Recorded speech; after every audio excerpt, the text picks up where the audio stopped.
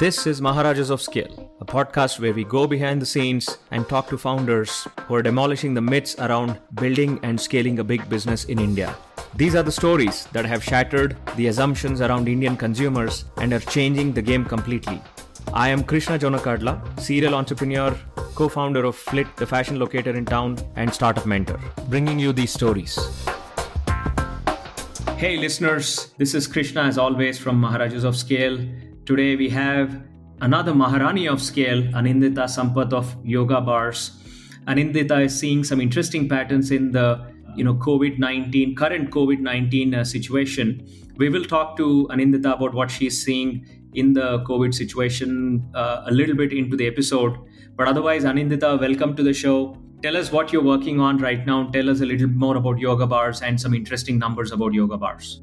Thanks, Krishna, uh, for having me on this show you know, like you were saying, it's a very interesting time, a very interesting, difficult time for all of us, uh, you know, in terms of managing the ups and downs through the through this crisis. So for us, uh, in the beginning, it was a lot about how to manage or how to balance out a lot of things because on the one hand, there is we are a pretty small company still, so you know how do you manage or sustain the company versus making sure employees are safe employee welfare is met you know, uh, we don't have to go to the extreme of people's jobs, security, and all of that stuff was very, very important in the beginning. And we kind of have uh, crossed that hurdle now. You know, like you were mentioning earlier, food comes back into the essential goods uh, segment. So we were able to start up our operations a little earlier. You know, maybe in the middle of April, we start we were able to start off our operations at a smaller scale. So over the last you know last month we've been able to stabilize but it's it's it's been a very challenging process because there are lots of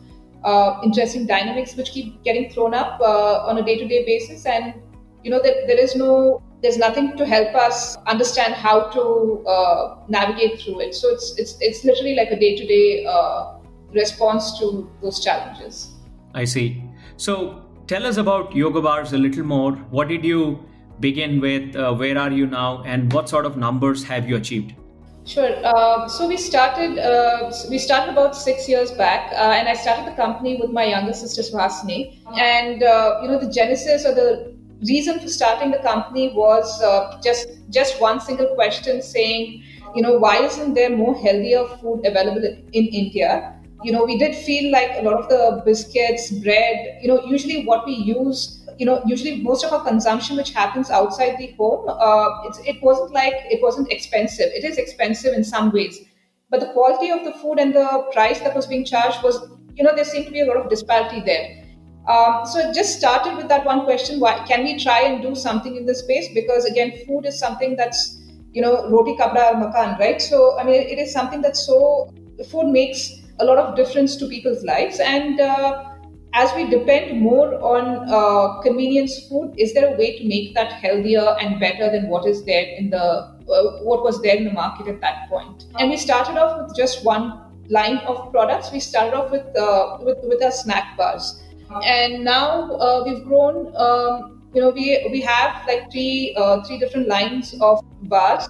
Uh, we've entered the muesli category also last year and uh, uh, we are bringing out a lot more options, uh, you know, savory options as well, and we're looking to grow into a lot more categories as we have, you know, as a as people have gotten more familiar or more open to healthier eating, we are looking to grow into many more categories at this point. point, and that's something which keeps us very very excited.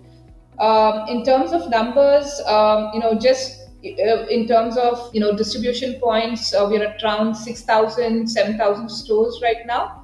Uh, we sell it, uh, sell through all our uh, all the marketplaces, and we've we've seen our sales double, more or less double every year uh, for the past two three years. Interesting. And how many consumers might that be?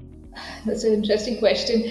Uh, I don't know. I, I think it. I think it. You know, we sell about maybe six to eight flat bars per month, uh, and the muesli is another.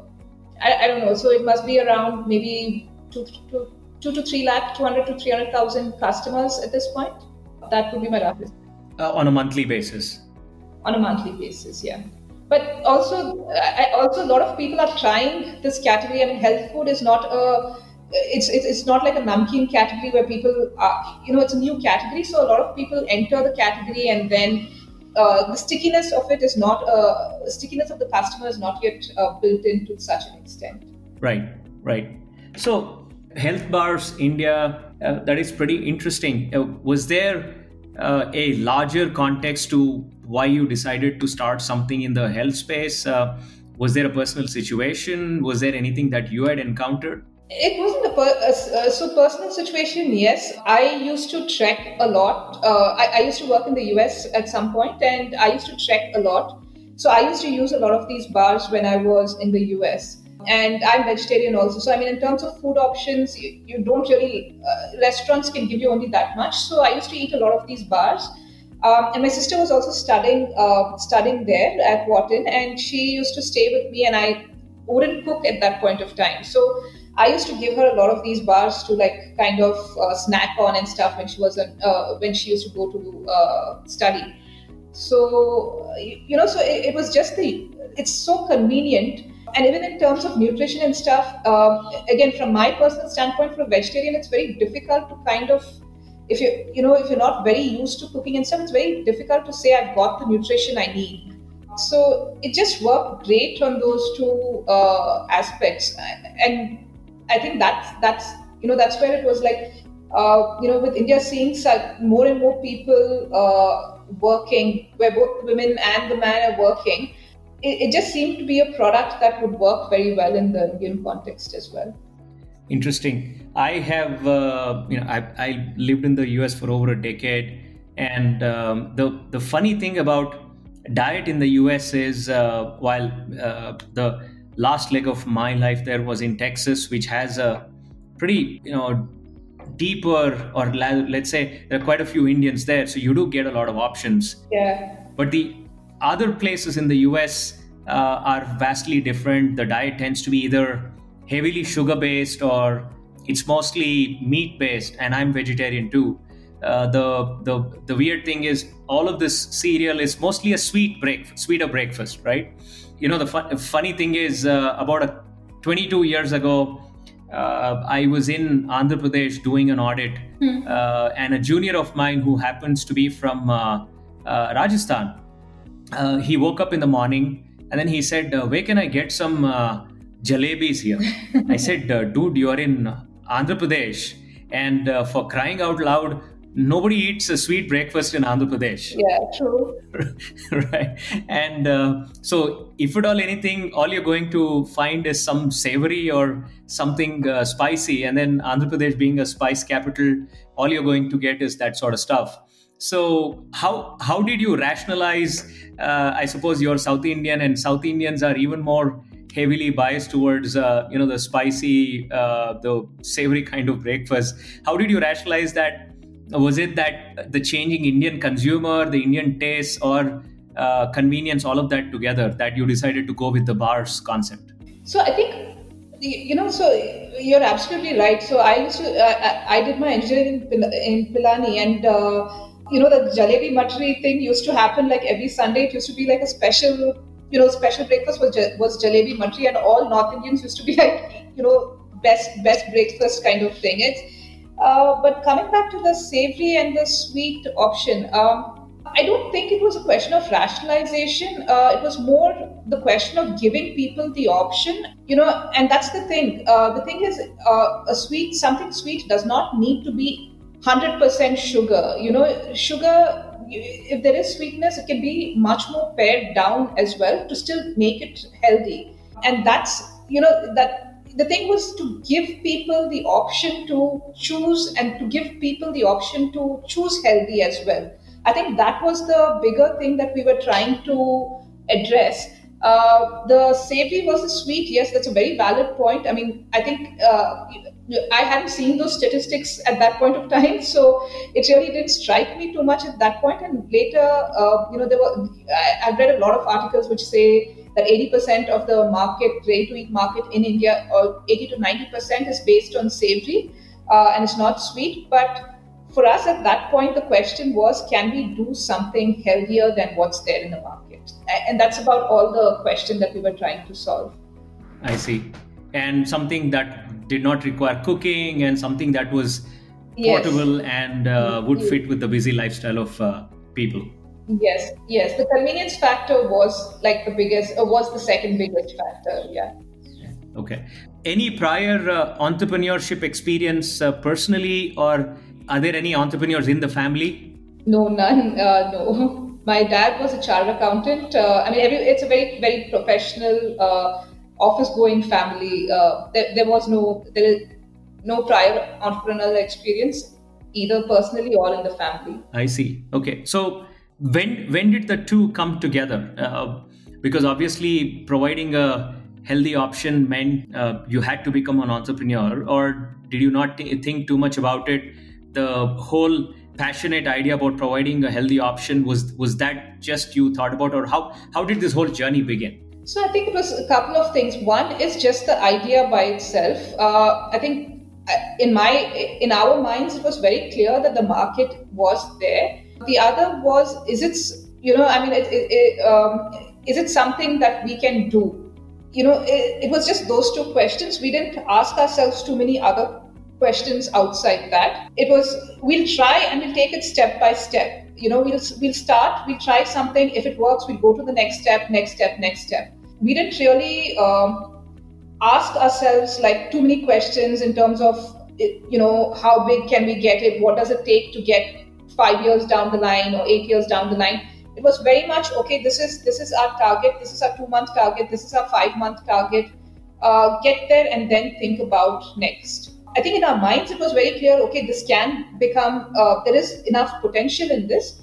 So the only other question that was left to answer is can we uh, can we realize that potential or not and uh, we said we will do it without asking, uh, without you know overburdening or overthinking it. Just just work at it as we uh, go on. You know, as take it step by step. Yeah.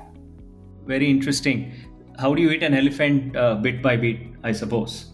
yeah, I guess. Yeah. But uh, not a lot of entrepreneurs actually go through uh, you know this kind of practical thinking. Most of them, I, I meet a lot of them who fall into either ends of the spectrum. The ones that are completely naive and then have no clue and that actually stops them from doing anything. And the ones at the opposite opposite end of the spectrum who literally are just dreaming big dreaming big and then uh, strategizing but really not taking any action. There is an old saying uh, it's attributed to the you know saint francis of assisi uh, which is which is something i follow practically every single thing that I do, start with what you know and start with what is possible, and suddenly you are doing the impossible. And that's what he says. So yes, uh, I would agree. I think I think it's a lot about just you know I I think uh, you know when people ask me, I mean, so I think it's it's a little about just staying the course. You know, uh, you you just have. And there's a lot of circumstances also which affect whether things go well or don't go well uh, but and that's something you can't really control. But i think keeping in mind things that you can control and uh, just staying the course i mean not that just getting to the next day next month is i think you need to give yourself that uh, uh that uh, window to do that. And uh, i think overthinking things sometimes doesn't help too much right right so let's dive a little deeper in, into that starting point in India, there have always been homemade options available. Even today, it is um, very common, uh, very common to find homemade uh, savories, homemade, let's say the peanut uh, bars that all of us eat, you know, called chikki. But in order to create a product which you perhaps um, you know experienced uh, I'm sure in the US as well as in India, meant that it had to be professional, it had to be branded, it had to go through uh, certain manufacturing processes it needed a certain investment. So how did you go about the initial product and how did you rationalize the th- this is not a while tech products also take some amount of initial investment but this is a this is a physical product right it means you need to take space you need to purchase or lease out machines go go a little deeper into that starting point Sure. So I think the first, uh, you know, the first pilot as such, we worked with home bakers to kind of have some kind of product done. Uh, you know, because uh, just to see what what is possible, what is not possible. We worked with a few home bakers and uh, said, okay, fine, this is the product. We tried and sold it in a few yoga studios. Not in a very big way. I mean, it was like 100 bars, just kept it out at the reception and saw if people are picking it up or not. I mean, that was pretty much what the experiment was about because, you know, because apart from the investment on machines and things like that, there's also the question of can you uh, get to the consumer? And that, that usually tends to be the most expensive, you know, expensive part or expensive part of a FMCG company, getting the marketing and the advertising bit. So the question was is, is there enough pull that if we don't do too much of advertising if we don't spend too much of money on advertising is there still some pull in the market that we can generate sales and i think bangalore is a very good test city for that because people already tend to be a lot more open to to newer ideas. Compared to say a bombay or a chennai uh, bangalore tends to be very open to trying out new, new ideas. So that was step one. Step two was how do we manufacture, uh, how do we manufacture this at scale, and how do we invest? I mean, and the thing was at that point of time, uh, the bar industry as such is not was not such a big industry that you have outsourced manufacturers. You know, as your industry matures, you have a lot of you usually tend to get more people involved in the space and it's easier to to approach people for advice on how to do things uh, but in a lot of ways, we were kind of pioneers in the bar industry in terms of manufacturing it in India itself and selling it in India. So, I mean, whether you believe it or not, a lot of our initial uh, knowledge was through YouTube and food factory videos. Wow. You know, so I we used yeah, I mean that that that was pretty much what it was. You know, it was like I check YouTube videos. You know, there, there a lot of videos over there which right. show you how bars are manufactured, equipment uh, equipment uh, manufacturers have put up videos which they have taken at different places. So that, I mean, literally, that was the source of uh, knowledge for us. And uh, the, the, there was a show which comes on, I think, Discovery or something, which is called Food Factory, in which they take you through, uh, in which they take you through all these uh, mega factories and how things are done there. So I think it was kind of like uh, you know seeing the two ends and saying, okay, fine, uh, how do I scale this down to a level where I can do it? And I don't know. I mean, so that's what we called a lot of equipment manufacturers. Uh, we call a lot of people who manufacture for chikkis. You know, uh, uh, equipment which manufacturers used to manufacture chikkis. We, we got those machines, did trials, uh, and customized them to work for bars. And uh, how do we finance it? Um, took a bank loan. We have pretty much financed it, and uh, because it's in the food sector, uh, you do get some grants, grants and stuff from the government. So applied for some grants, and we started off with something like 25 lakhs. That's that's how much our first factory was. Literally 500 square feet, uh, and I think 10 lakhs, 10, 12 lakhs was the machinery, and another 10 lakhs was working capital and uh, you know, and uh, raw material purchases and things like that. And then from there on, it was more like a learn and uh, learn and expand kind of uh, experience that helped us go through it. Very interesting. Seems like a very practical. Uh, looks like uh, you're a very practical person. I, I see nothing but practical stuff all over this. I mean, imagine uh, working with a few bakers, uh, I, I was I was not expecting that at all. And uh, so so let's expand that a little bit. That initial uh, test that you did. Well, there are bakers. You know, baking is one one of those uh, hidden hobbies or uh, creative things. Looks like you know there are a lot of Indians now getting into baking. perhaps maybe finding them was not that hard. But let's dive a little deeper. when you worked with those bakers uh, how many yoga studios what sort of feedback did you get from the users uh, did you have to change the product drastically or which which actually turned out to be the most effective? I think the markets uh, for i mean finding the bakers is not difficult. Um, you know like like you said there are enough bakers out there. Finding the baker, uh, bakers was not difficult. Uh, but what you make in a kitchen and what you make in a factory scale is very different. You know how do you scale? Because uh, it, it's just a question of how you uh, manufacture on a line. You know, uh, right? So there, there, there is a lot of scale up required over there. and customer feedback as well. You know, so I mean, I think the product kept changing. First two years, the product kept changing. You, you know, it's I mean, it was a lot of actual on shop floor experience in terms of how, so even how ingredients interact. You know, a baker usually bakes something that's eaten within 24 hours. They don't really care about shelf life, or they're not tuned to think about right. life, right? Uh, so something like dates probably works great in a homemade bar.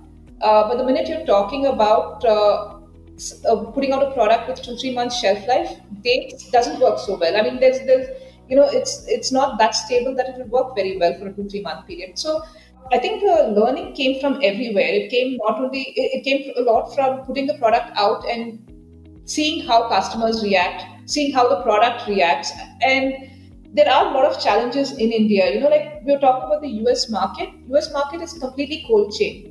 You know, it leaves the market, it leaves the factory in a air conditioned vehicle. It reaches the shop. You know, everything's cold chain. Everything's temperature control. Right. Uh, in a in a country like India, you have like te- different temperature zones. You know, so even seeing how the product reacts in different, you know, you send something to Delhi, it reacts. The customers' feedback is different from what you'd you'd see in Bangalore itself. So I mean, the feedback was from everywhere. Uh, and that's what I mean. The first couple of years, it was just a lot of iterations on the product uh, process, uh, product iteration.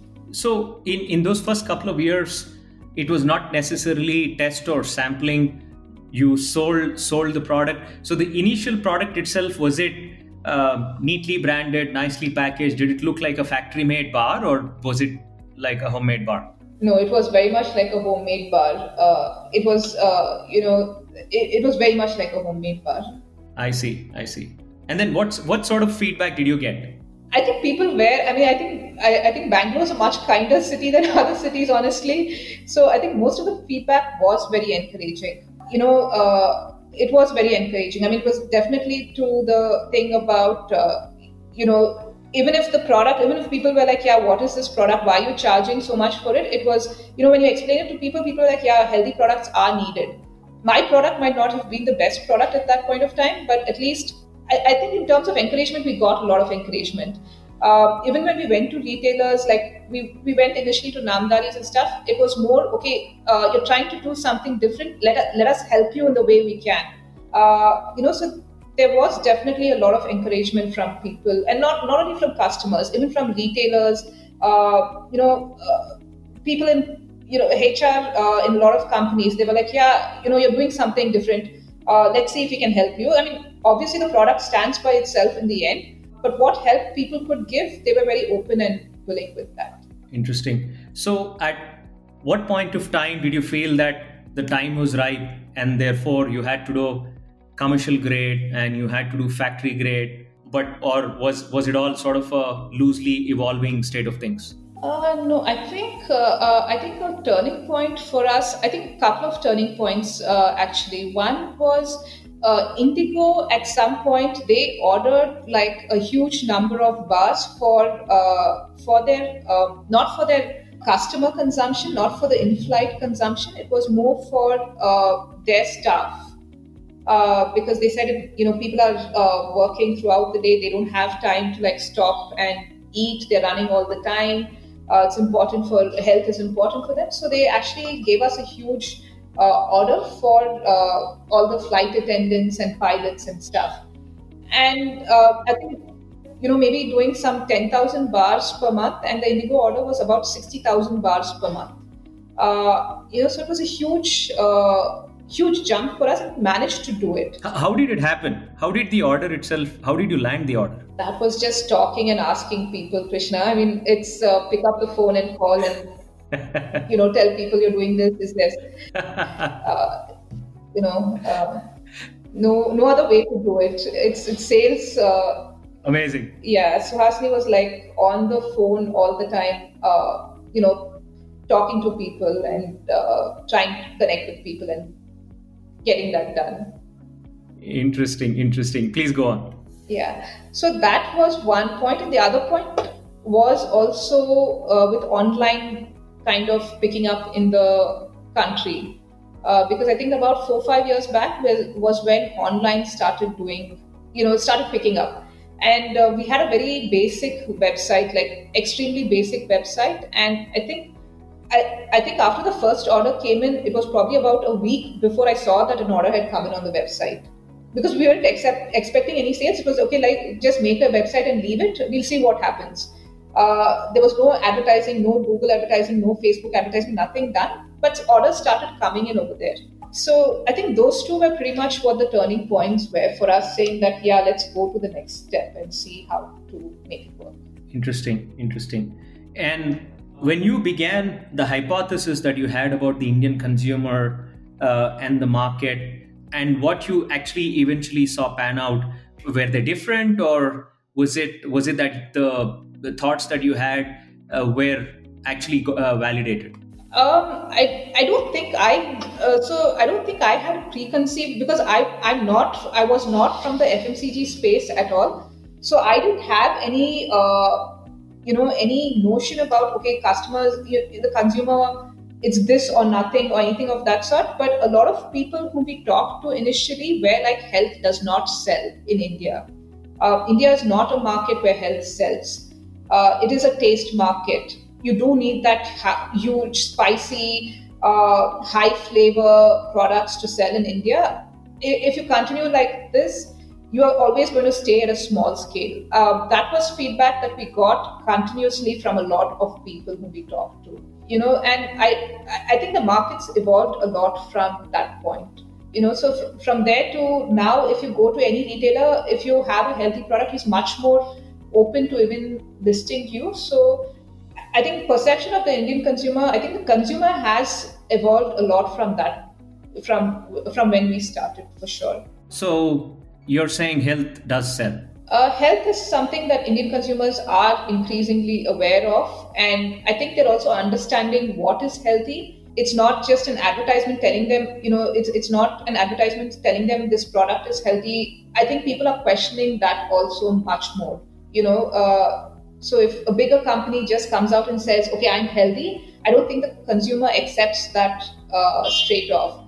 Uh, paying the premium for actually much more healthier product i think the, the, the consumer has started making that decision consciously. You know in the in the us um, protein bars and uh, you know all kinds of meal replacement bars all sorts of bars you, you, you get you get like a thousand varieties of them and the funny part was uh, whenever I used to eat them, there usually used to be if if a bar was even halfway tasty, forget uh, you know being the taste shocker kind that you get in India that it had to be rich. Even if the bar was uh, halfway tasty, there would be some downside to it. It would be sugar or something of that sort.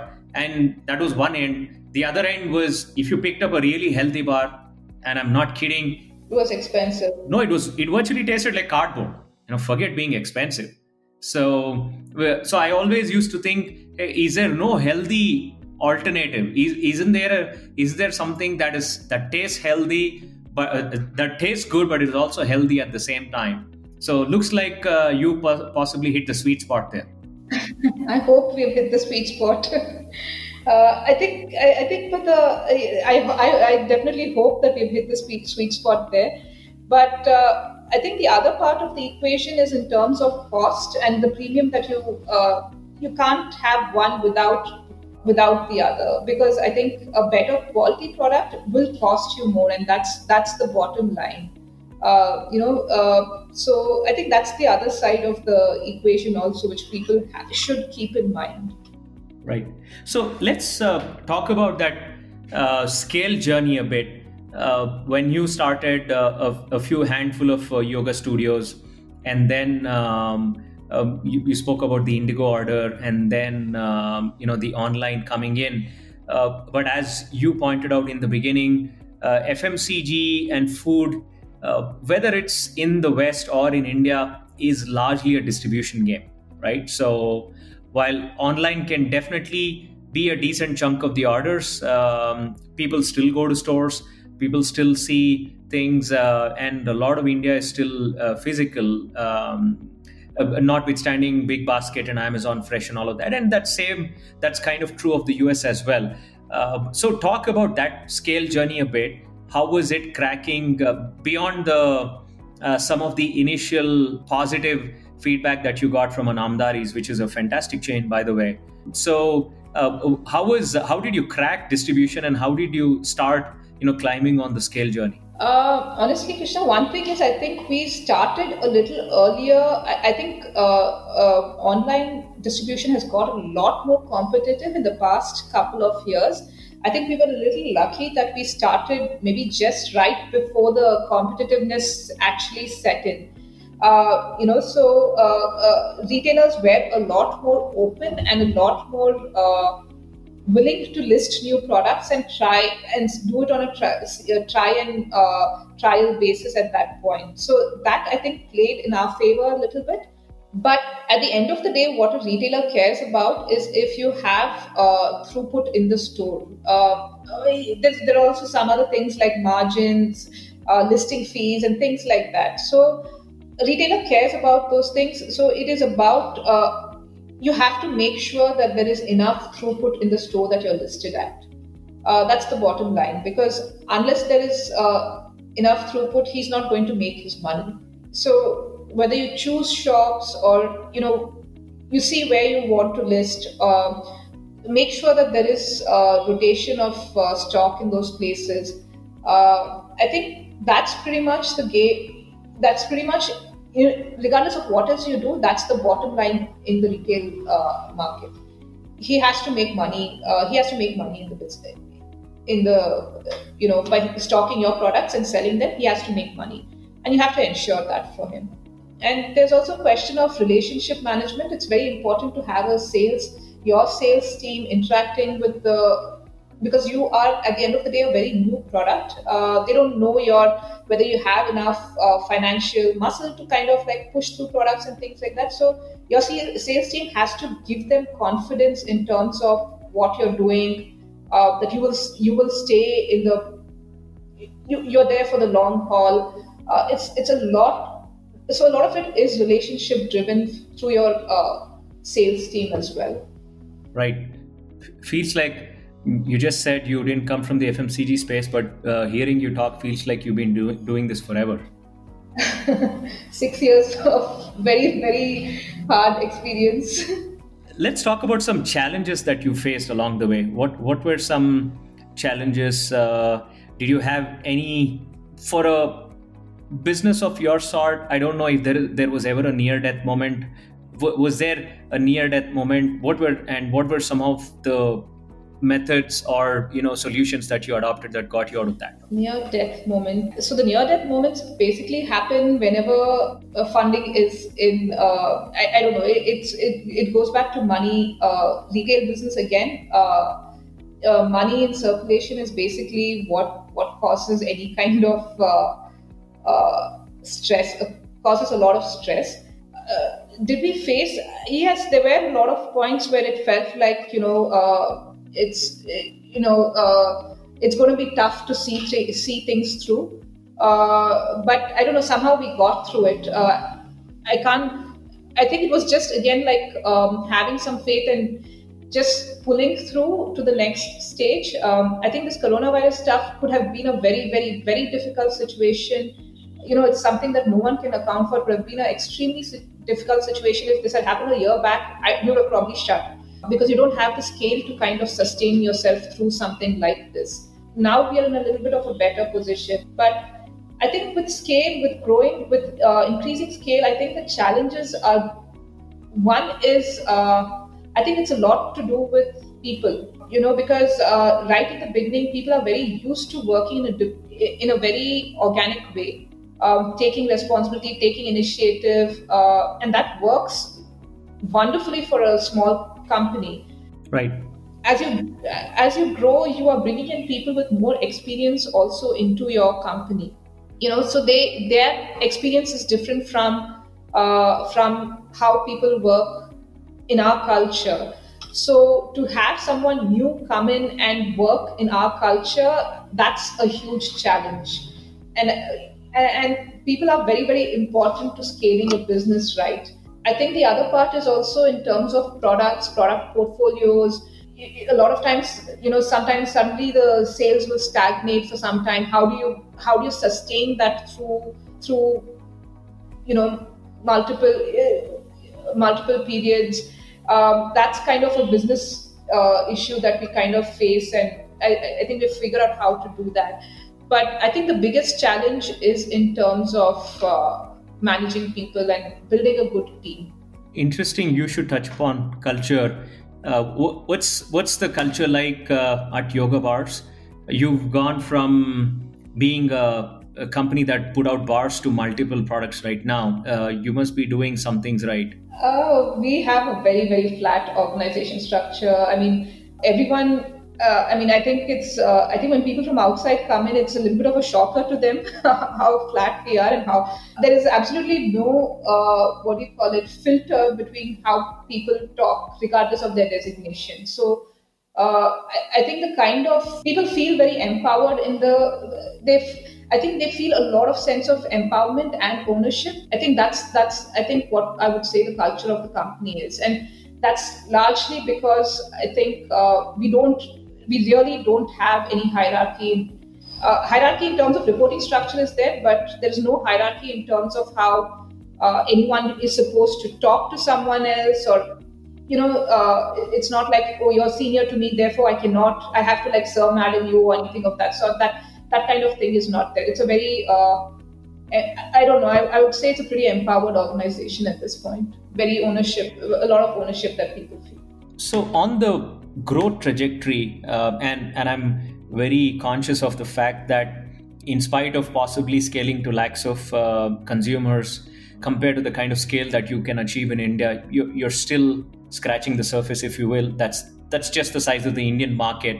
But uh, getting to where you where you got, were there some things that you did vastly differently? Because in the FMCG sector, uh, you know, my family has been in the FMCG distribution business uh, for the last four decades. Ever since I've, uh, I can recall maybe my oldest memory is when I was uh, about uh, 10 years old and uh, I was writing out a wholesale sale invoice um, for uh, Cadbury's chocolate bars. So, and then I would go along with the sales guys of Hindustan Lever to start pushing retailers to take, take um, stock, you know, from Brooke Bond tea to uh, wheel soap. So uh, a lot of channel stuffing, you know, if you if you understand the term, does go in. Uh, but beyond that, now the market is different. I understand, uh, but so there there is a set of healthy tactics. There is a set of unhealthy tactics that is used in FMCG, uh, but that is something that you'll be aware only if you've been in that industry for a long time, right? So, but uh, coming in as outsiders uh, what were some inflection points in the once you got beyond the initial scale uh, that uh, you know worked in your favor? I think the thing is you're not i mean uh, i don't know. I mean i think the thing is uh, you're not bogged down by saying this is the way to do things or you have to do things a certain way I mean, I think for us, our attitude has always been like, try. If it works, it works. If it doesn't, we figure out something else. You know, so I mean, and uh, you know, like you were saying, channel stuffing, for example. You know, you overload the stores with stock and then do whatever promotions and stuff to clear the stock from there. Right. Uh, one one fact about our products is because we don't use any preservatives, the shelf life is about three of it's about four months. That's extremely short shelf life for an FMCG product in India because I mean you, you lose about 15 days in stock getting to the retail outlet itself. And again, there was something that people said, okay, you can never. I mean, people in the retail industry were like, you can never work with this kind of shelf life in the market. It's impossible. I mean, I, we, we don't. I think the thing with being a smaller company is you don't have anything to lose. You try, and I, I think it's it's that burden burden of not knowing or burden of knowing is not there. So you pretty much try what you want to try. Um, I think the cost of trying is lesser for us than uh, a bigger company, uh, and that's how we approach it. So uh, I, I, don't think we preset and accept saying that okay, this is not how it's done. Uh, it, that's not something that we uh, that we kind of like go by at all. It's like okay that, that's that's not the way it's being done fine understood but let's let's see if we can work something else out. Okay. So i think that's that's that's kind of helped us. I don't know if i answered your question. Yeah. And in terms of a philosophical response but in terms of tactics uh, and methods uh, where there's something different uh, uh, that that actually worked out for you in maybe reaching a new set of retailers or maybe new distribution points uh, where there's some tactics or maybe something you did online that actually helped you grow from let's say when you were hitting 25 50 uh, 50,000 bars that put you in the 300,000 volume? I don't know. I think it's it, it, it's being about like even the distribution points, everything. It's about it's about building that building a team and empowering the team to take decisions. So let's go a little deeper into that distribution in the FMCG market. Uh, at least in India, the way that market has operated is when it the manufacturer itself usually doesn't provide credit to the supply chain. The distribution agents in between at least for the established what i've seen for the established fmcg companies so for instance if you were buying from uh, johnson and johnson or hindustan lever the clearing and forwarding agent would actually buy the stock and then eventually all the way to uh, to the wholesale redistribution agent uh, it is always on the basis of payment you they take payment in advance and actually pass on the inventory the credit to the end retailer is actually provided by the redistribution agent, right? So that's the typical FMCG chain. But um, as you know, as uh, that chain also is getting flatter and flatter, you don't have that many layers in between. It has twin problems. One is if you do not extend credit, many times you may not see the uh, upline, sorry, top line that actually come in, right? So because people are saying, okay, the retailer is saying, hey, your shelf life is four months I'm going to realize possibly sale only 45 days later, so I cannot pay everybody in advance. He's possibly saying that. So, did you have to work with that, or uh, did you have have to adopt any credit tactics or finance tactics to increase your uh, spread? So, I mean, what you're talking about, the CNF agent works for much bigger companies, uh, you know, where it's completely like cash and carry basis. Your distributor, you know, they have a structure of super distributor and you know that goes down into the thing but uh, smaller companies you know like you're rightly pointing out it's not there is the question uh, you know your retailer is not going to take uh, there, there are credit cycles right uh, 15 day 20 day 30 day credit cycles that you have to uh, extend credit in the market but that's normal across uh, most companies except your HUL and Colgate and you know bigger behemoths um, Right. Everyone else outside that will follow a will follow a credit policy. Will, will have to extend credit in the market. Uh, but you do have retailers like DMart, their payment cycles. The question is with the discipline with which you're able to implement it, because uh, the thing is, uh, if your retailer is saying 10, 10 days credit cycle, 15 days credit cycle, uh, are you making sure that 15 days is 15 days, or does that credit cycle get extended out? Uh, I think that's the discipline that has to be implemented within a smaller company because you can't keep extending that credit cycle. And to your earlier point about confidence, so, which is which is why you have to make sure that there is offtake in the shops that are there. Because where is the the retailer? You have to realize that the retailer is there to make money, and he has to make money. So it is important to make sure offtake. You have to make sure that the offtake happens in the stores whether you choose your stores where you're 100% sure the offtake will happen, that's one way to do it. But that offtake, you can't put the retailer at risk. He's your partner. He's your best salesman also over there. Um, who you know who, who's going to recommend you to the customer. So you don't you don't want to upset or lose him as a as a partner in your legs. You have to extend credit to them. So that's interesting. So let's talk about that uh, making the retailer you know financially viable making the product is financially viable you know, the traditional indian market is made up of two two sorts well i guess three outlets right now the online outlets where potentially the prompt or a, a, a banner ad or a banner prompt will say hey you might like this uh, which is like a soft recommendation or sometimes a hard recommendation.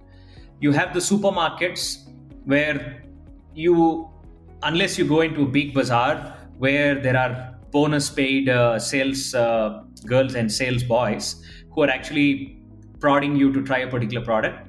And then you have the traditional retailer uh, who mostly is a mix of maybe 20% of them are very conscious of what their users need. But the vast swath of retailers are not necessarily recommendation driven. And um, especially for a product like yours, which uh, is not supported by vast amounts of advertising, you're yet to get you know that kind of eyeballs or even visibility. Uh, how do you crack that equation? That equation where you uh, ensure that there is offtake, peel that offtake onion a little bit. I think so. I think online actually helps a lot. So even though uh, you have so even though the sales uh, so the thing is i think the online advertising does create product awareness uh, and that we we've seen that you know translate to offline offtake as well uh, because we used to run a few experiments in the beginning say, saying that is this uh, does this make sense or not because online advertising can be very expensive also if you say okay online advertising and this is your online sales do those numbers actually make sense probably not. But the minute you stop online advertising, you see the impact on your offline sales as well. So one thing is to run, you know, to uh, to run that online advertising uh, continuously. The other thing I think that helps is, you know, uh, recommendations like again we uh, sampling at offices and stuff um, so that helps a lot. Awareness of what's a healthy product the thing the thing is about putting that product out and uh, the association. If it comes from a uh, from a um, you know uh, if it comes from a known source or if it comes in an environment where people you know people are more open to the idea uh, it helps that they go and ask the retailer uh, the retailer actually does recommend a lot if, whether he, whether they're aware or you know, depending on how your salesperson communicates to the retailer, the retailer will recommend or not recommend your product. Uh, but the first thing is to convince the retailer about what your product is about. Uh, there is actually a lot of recommendation which your uh, end retailer will will make because because a lot of times he's the only person who's there in the shop and a person's going to you know a customer's going to go up to him and ask, you know, what is this product?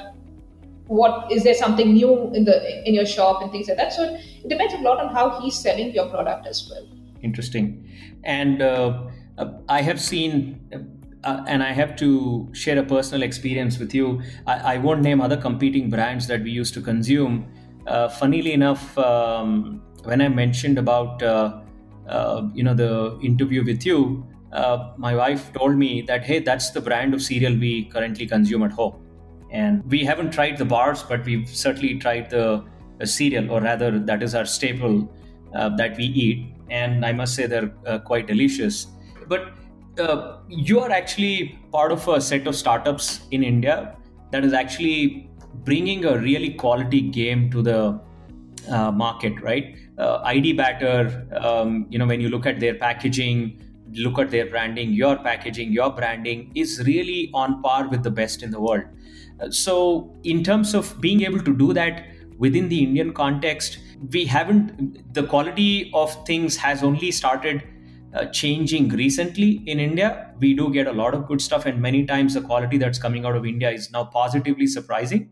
So, when you started creating this packaging, creating this branding, uh, did you face any challenges locally? Did you have to go outside, or the Indian ecosystem has actually evolved? No, I, we, we didn't go outside for packaging. The packaging was completely done, very much driven by Suhasini and me, but it was done, everything was done in, in India itself.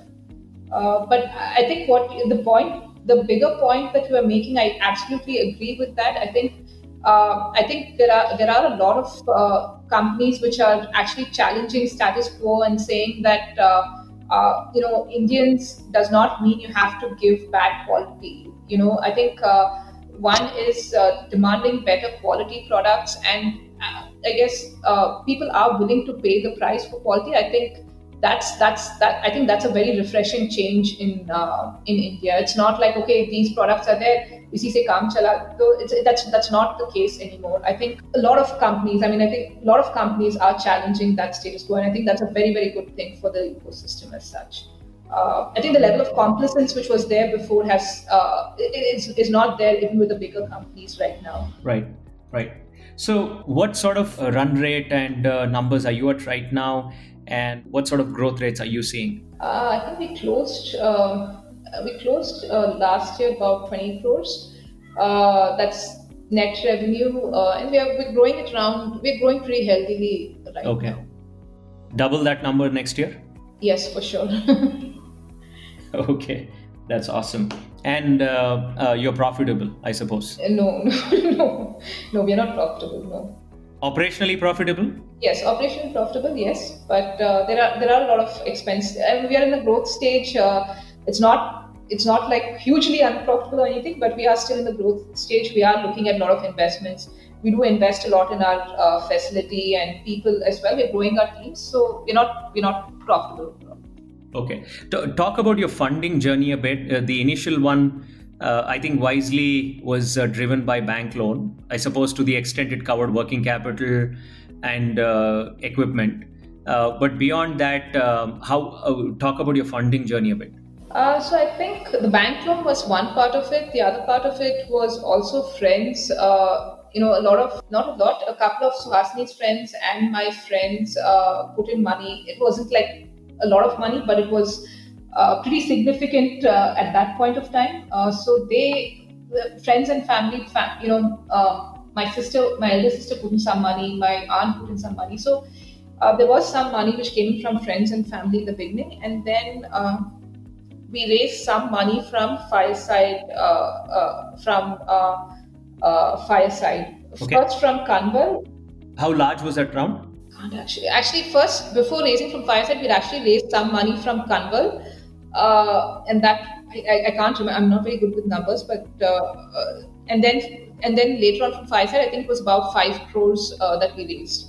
Yeah, so uh, I think yeah, so that and then it, it's there's there've been a couple of follow-on rounds, one follow, couple of follow-on rounds since then that we've done. So, in terms of the personal journey, uh, do you feel that this has challenged you this has uh, grown you uh, have you ever uh, been frustrated or or it's it's a mix of everything it's a yes to all of the above uh, uh, yes yeah it is a very challenging journey because you really don't know you really don't know what kind of challenges you're going to face on a day-to-day basis and a lot of times it is very very exhausting as well it's just the amount of energy that it requires out of you there are decisions that you have to make that you're not very comfortable making. I don't know, people impact also. I mean, end of the day, you know that what you're doing impacts people, Con- consumers, yes, but also on a closer closer level, people working within the company. You know, so I think the num, you know, obviously when you're, you, I mean, you are taking decisions which impact so many people. It's a very different, it's a very different, uh, enriching experience. Yes, um, but it can be very stressful. It, it is also very exhausting at times. Yeah. Let's talk about the sibling equation. It's um, working with family has its share of uh, advantages and disadvantages. While uh, I don't know, eh, it, it could come across as a, a you know a bad observation, but I've seen that you know sisters uh, can either be amazing buddies or you know sworn enemies. Uh, so I, I, suppose your amazing buddy is the other version here. Oh, how is how is that trusting another sibling, especially um, both of you deciding to junk your careers and then go full time into this must have taken some nerve and then some courage. Uh, how how did that happen? I think the trust factor was never in question. Uh, you know, there is at least in our case, the trust factor is like 100%. I mean, there is just no question about that. And that's, I think, the good part. Egos don't come into it too much. Uh, it, it, it, it's just not there. Uh, I think the thing which is mu- which is much more difficult is if um, you know a personal situation uh, is being faced by one person, that personal situation is being faced by both people.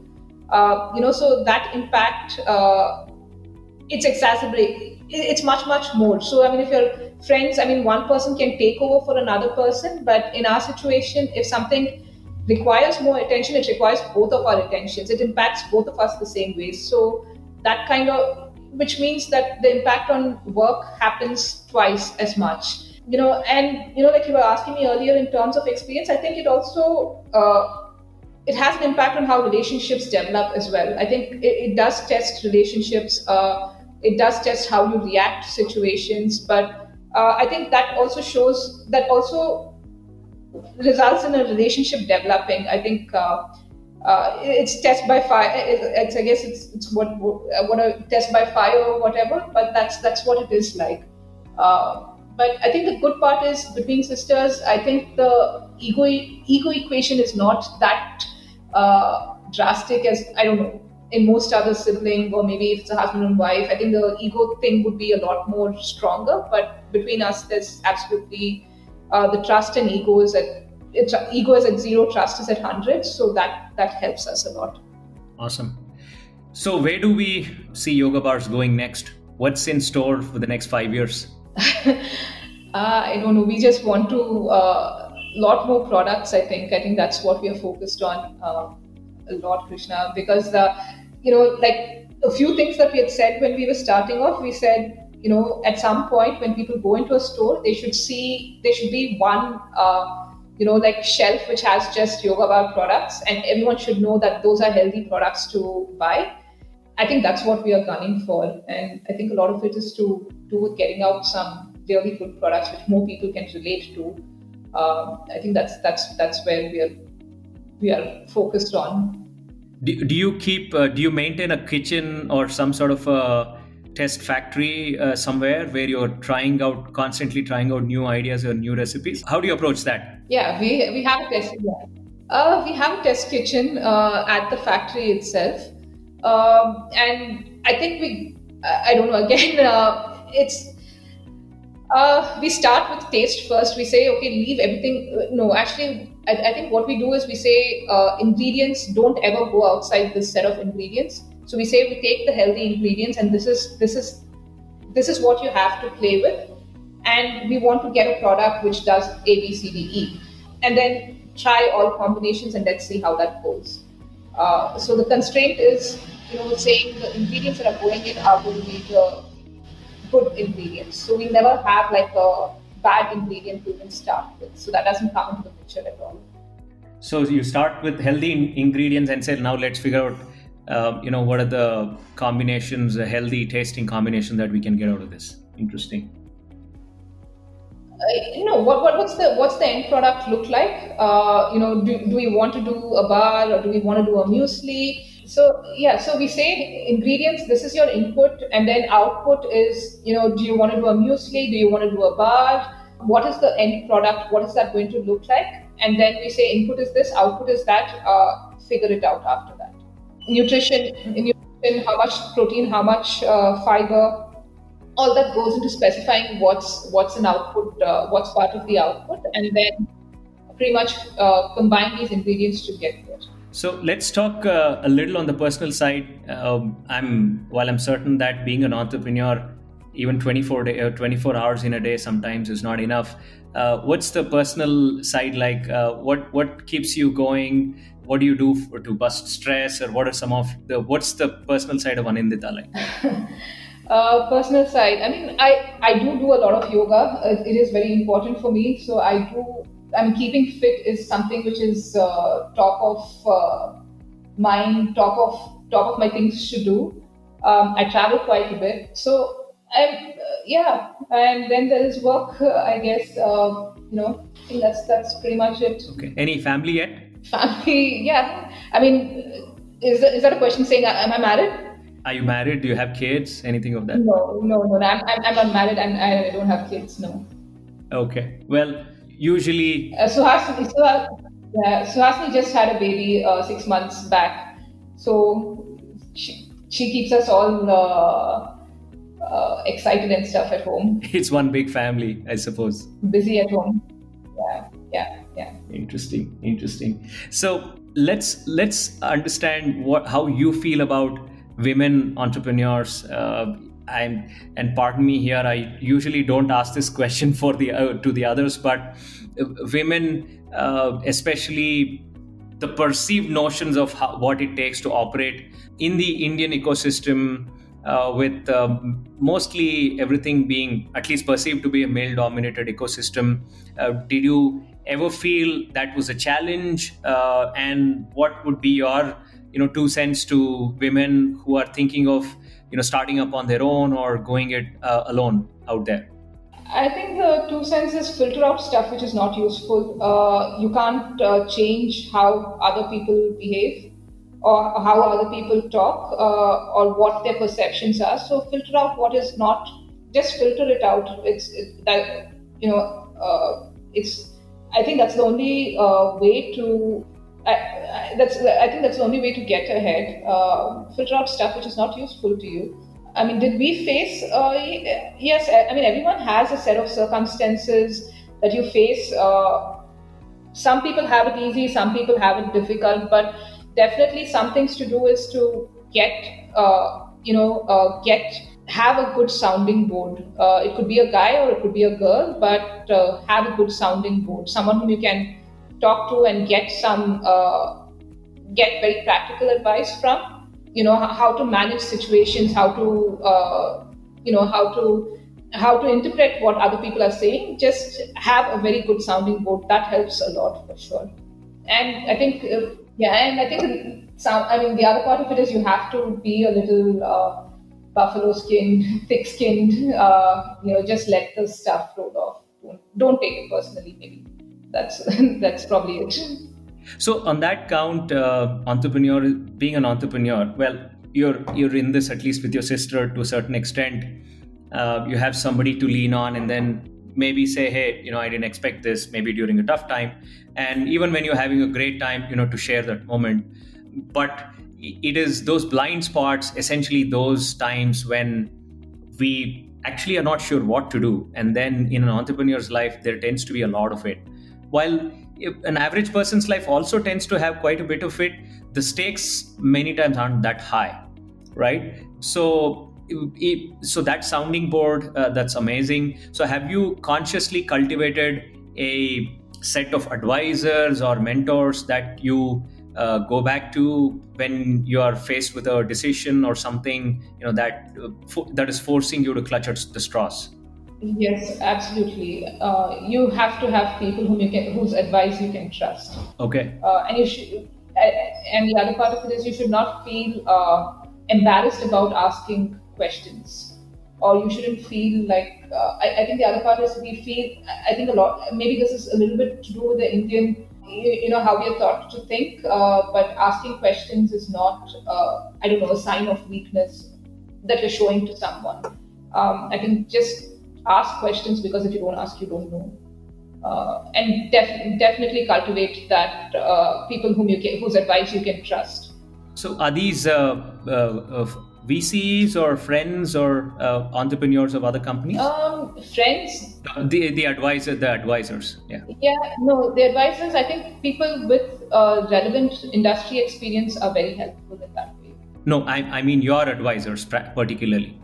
Yeah. Yeah. Yeah. Uh, yeah. That's what I'm. Uh, that's what I'm saying. I mean, it could be your initial angel investors. I think they are you know, because angel investors usually invest more out of passion than anything else. They really want, at least this is what I have seen. They they want, I think they have, uh, they want to enable change, uh, enable someone else to succeed. Uh, so they usually tend to be a lot. Uh, they tend to be very good sounding boards. It, it, depends. I think anyone. So I, I, I, you know, you go to different people for different kinds of advice definitely if you have a good friend circle who's involved I, I a lot of my friends yes they are in the they are in the space and i don't hesitate asking them. Um, a lot of friends parents for example have been around for a lot longer in this space. So they are also i use them uh, i do talk to them as well. It, it's just whatever resources you have uh, I, I, you shouldn't feel shy about uh, connecting and developing them as sounding boards very important. Right. Especially as women. Yeah yeah. Uh, do you read are you a reader? Uh, yes. Yeah, yeah, I do. Okay. What's the most recent interesting book that you've read? I think I can't. Uh, I'm very bad at. Uh, my memory is not so great. Uh, but I think it was the other, and then there was the other. Uh, I, I it, it's it's about. Uh, I think it's a British author, and it's about. I don't know. It's a, it's about a painter actually, it's pretty interesting that you're asking me this question now because it's about a woman painter in the Renaissance, and then kind of connects to someone, uh, and she had to like uh, actually uh, dress as a guy because they wouldn't accept women painters. But she was a she she was a woman painter from the Renaissance, and then it connects to a modern day uh, modern day uh, parallel as well. So I think the name of the book is the other side, the other. I think it was the other. Interesting, interesting, amazing. Awesome. What is your source of inspiration? Anybody that you look up to, or anything that you follow? My source of information, uh, inspiration uh, is actually much closer to home. It's both my parents.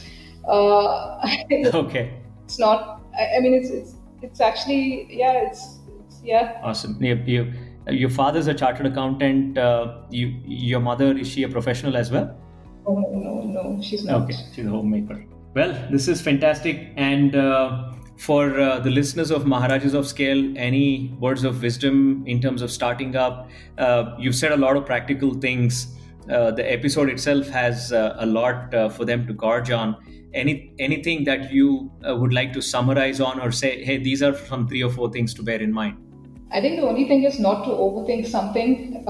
do it and then see if it's something that you like, you want to stay vested in but thinking about things is not uh, I, mean keeping things in your mind is probably uh, uh, you know like you were saying earlier it's something that it's easier to do something and and then uh, move forward rather than think about doing something. So i think that's pretty much words of advice. Yeah. Well very very very grounded and very very down to earth. It just reflects uh, the journey that you've gone through. Anindita, this has been a fabulous conversation, uh, very rich insights, uh, and full of humility. Uh, I'm sure we'll see Yoga Bars scale uh, greater heights. Uh, we will, there, uh, Maharajas of Scale will be there to cheer you and talk to you again. Um, you know, when you hit that next milestone and then subsequent milestones after that, we need startups like yours in India uh, especially the ones that bring pragmatism uh, and a no nonsense approach to doing things. Uh, no wonder uh, you come this far, and then I'm sure there's a great journey ahead of you. Uh, it's been fabulous. Uh, it has been great to have you on the show. Thanks so much, Krishna. thank you so much. It's, it's been lovely speaking to you as well. We hope you enjoyed the story. If this story made a difference to you, tell us by leaving a comment on the website or our social media channels. Help us spread the love by subscribing, liking, and sharing our show. We welcome speaker suggestions and collaborations. Write to me at nida at maharajasofscale.com.